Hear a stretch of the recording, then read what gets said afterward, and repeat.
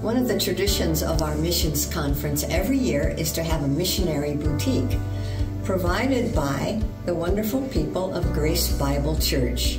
And the missionaries can come and shop at our boutique with and find gifts from our wonderful people.